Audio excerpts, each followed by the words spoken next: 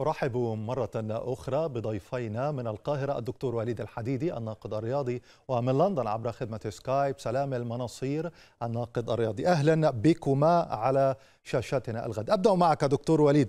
أولا في زمن الكورونا هل أنت مع عودة الدوريات أم لا؟ ولماذا؟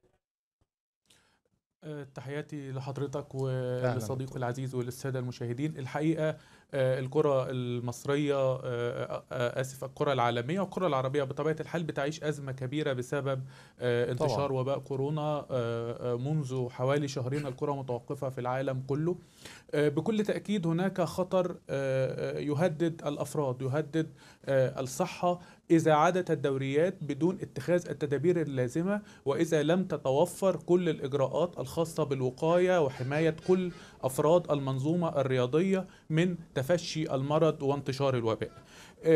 إذا تحدثنا عن بعض الدول التي قررت بعض الحكومات وبعض الاتحادات التي قررت عودة النشاط الرياضي وتحديدا كرة القدم فهي قامت بذلك بعد اتخاذ تدابير معينة وإجراءات صارمة.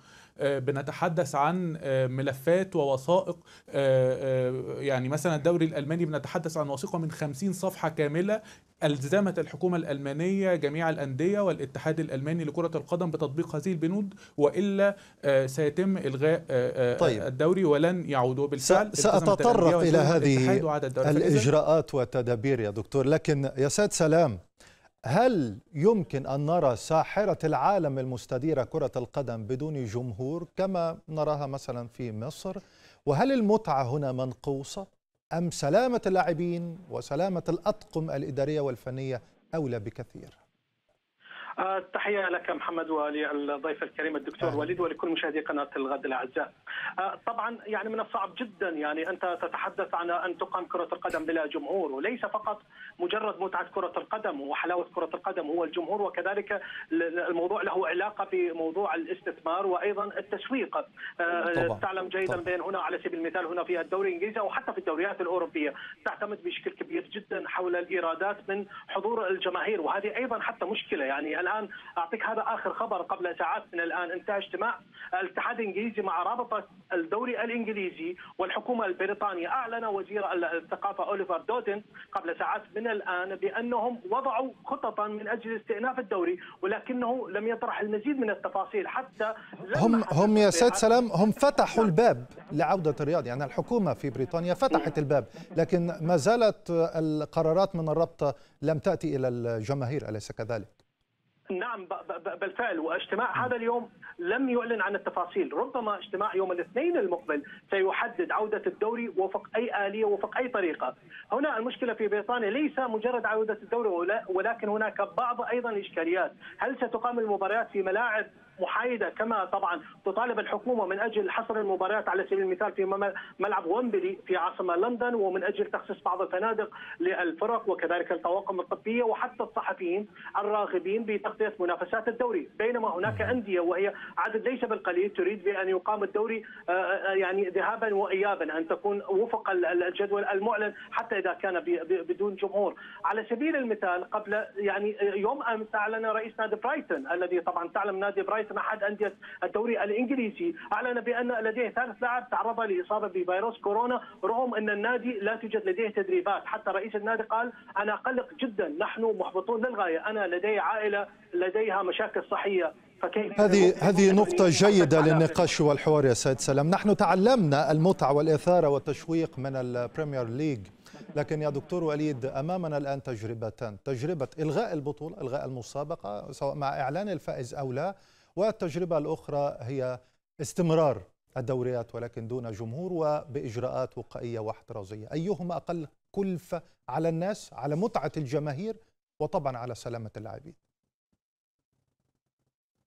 يعني خلينا نقول إن لازم يكون في عنوان عريض زي ما قلت لحضرتك في البداية إن إذا عادت كرة القدم يجب أن تعود بدون تعريض أي أفراد أو أي مجموعات للخطر. فإذا استطاعت أي حكومة أو أي اتحاد توفير هذه الإجراءات وضمان سلامة الجميع اذا فلتعود كرة القدم. أنت حضرتك أكيد طيب هي لماذا تعود يا دكتور؟ التواصل الاجتماعي؟ يعني هي لماذا تعود؟ هل بضغط من الشارع بضغط من الجماهير سواء العربية أو العالمية؟ إذا كانت ستعود حتى في المنطقة العربية لا نعرف حتى الآن. أم ربما من الخسائر المادية للأندية وطبعا تقليص رواتب اللاعبين ما هي الأسباب؟ هذا هذا الأمر منقسم لشقين رغبة الاتحادات وروابط الأندية الأوروبية تحديدا في عودة النشاط الرياضي وحتى العربية تعود لأسباب اقتصادية. خسائر فادحة ستتعرض لها جميع الأندية وجميع الروابط روابط الدوريات إذا لم يعود النشاط. بنتحدث عن حوالي عن حوالي مليار واثنين من عشرة خسائر مليار واثنين من عشرة مليون يورو خسائر للدوري الإنجليزي. يقترب من المليار يورو خسائر في فرنسا في اسبانيا في إيطاليا إذا لم تعود الدوريات خلاص بشكل نهائي لن يعود الدوري الفرنسي وتم إلغاء البطولة. وبالتالي الخسائر بالفعل أصبحت أمر واقع. خسائر أقل قليلا طبعا بالنسبة للدوريات العربية. الخسائر متعلقة بالبث التلفزيوني. هي عقود تم إبرامها في بداية الموسم. طبعا. طبعا. بعضها كانت عقود مجمعة لسنتين وثلاثة سنوات. والبعض الآخر متعلقة طبعا بنسبة التذاكر والحضور الجماهيري. اليوم تقارير بتتحدث إن برشلونة مثلا هو أكثر أندية العالم. تحقيقا للمكاسب من حضور الجماهير لمبارياته تعرض لخسائر منتهية بنسبة بحوالي 150 مليون يورو. بسبب إذا حتى تم استكمال الموسم فهي خسائر تم إدراجها في ميزانية نادي برشلونة بسبب عودة بسبب توقف النشاط وحتى لو عاد سيعود بدون جماهير. واليوم نادي ليفربول حتى الآن وبعض الأندية الأوروبية لا لا تستطيع إعادة الأموال لجماهيرها أصحاب التذاكر الموسمية. وهناك أزمة للعديد من الأندية طيب. بهذا الأمر. سواء في سواء في إشبيلية وحتى في بريطانيا هناك بعض اللاعبين لديهم إصابة بالفيروس. هنا السؤال يا سيد سلام هل تعود هذه الدوريات على أمل ألا يصاب أحد؟ وعلى أمل أن الجماهير تكون راضية؟ وأصحاب الحقوق والأموال راضون؟ نعم أتفق معك في هذه الجزئية. حتى يعني انطلاقة الدوري الألماني ربما هي ستبعث رسالة بقية الدوريات. يعني مثلا دوري ألمانيا الذي من المؤمل خلال يعني 72 ساعة القادمة بأن ينطلق. طبعا ستراقب هناك لديك إسبانيا إيطاليا وحتى في بريطانيا سيراقبون الدوري الألماني. هذا واحد. اثنين حتى اليوم يعني تصريحات النائب رئيس الأطباء في لندن قال يعني يعني لمح إلى نقطة في غاية الأهمية. قال علينا بأن نرى مدى يعني التزام اللاعبين وحتى الأجهزة الفنية والإدارات في التدريبات، يعني مثلا طالبوا بأن تكون تدريبات الفرق الإنجليزية الأسبوع المقبل لمدة 75 دقيقة فقط وأن يراعوا الإرشادات وطبعا في مقدمتها التباعد، هم طيب يحاولون ضعنا في الإجراءات يا أستاذ سلام، نعم. ضعنا في نعم. الإجراءات، هل ي... ضعنا في الإجراءات، هل يتم فحص اللاعب اللاعب قبل بدء الميران وبعد الميران. هل قبل المباراة وبعدها؟ هل في غرف الملابس؟ هل في أثناء الاجتماع الدوري ربما مع المدير الفني أو حتى بين الشوطين كيف ستتم هذه الإجراءات؟ ضع لنا عينا في تلك النقطة رجاء.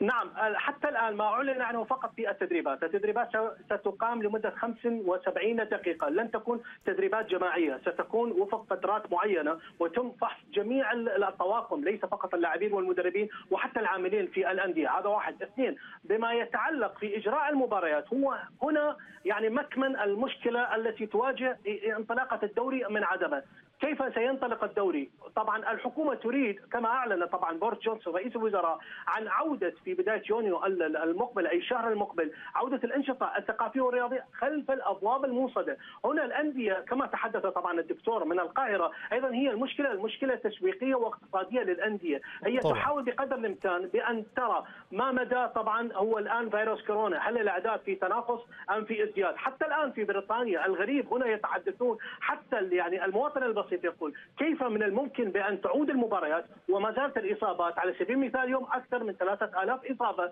والعدد ربما سيصل حتى بوريس جونسون في إفادته الأخيرة. كان قلق من عودة الفيروس في موجة أخرى ثانية. وهنا أذهب إلى الدكتور وليد ضيفي من القاهرة. كرة القدم الساحرة المستديرة دكتور وأنت أعلم بهذا الأمر. تحتاج إلى احتكاكات بين اللاعبين. لا أتخيل أي لاعب وهو يحاول اللهث والجري وراء الكرة وهو في قلق ربما من التلامس أو الاحتكاك مع خصمه في الفريق المنافس كيف تتم هذه الأمور على أرضية الملعب في وجهة نظرك؟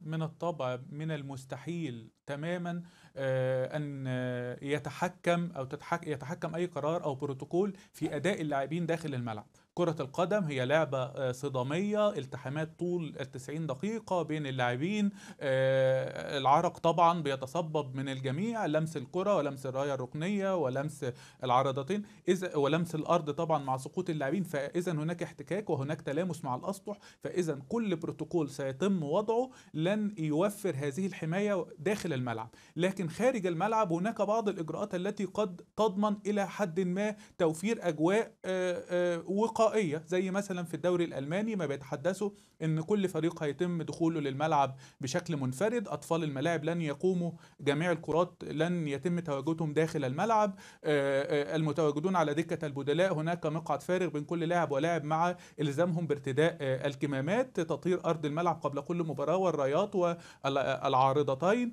فاذا هناك بعض الإجراءات لضمان نسبة كبيرة من الوقاية لكن داخل الملعب لن يكون هناك أي قدرة على السيطرة على أداء اللاعبين لأن هذه هي لعبة كرة القدم بطبيعة الحال. وفي كما, كما تفضلت هناك إجراءات متبعه حتى من قبل الاتحاد الدولي. سيد سلام ربما لحظة الغضب عند أي لاعب ربما لا يتحكم فيها كثيرون من اللاعبين.